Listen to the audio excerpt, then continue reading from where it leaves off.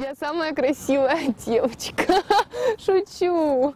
Все красивые. Ну, просто нереально приятно. Я э, уходила, вылетала каждый эфир, и наконец-то я тут.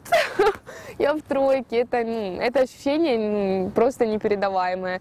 Я не ожидала, что я пройду даже в двухсотку, и потом э, в тридцатку для меня был шок, а потом в пятнадцатку это вообще, а в десятка, пятерка и тройка, и все.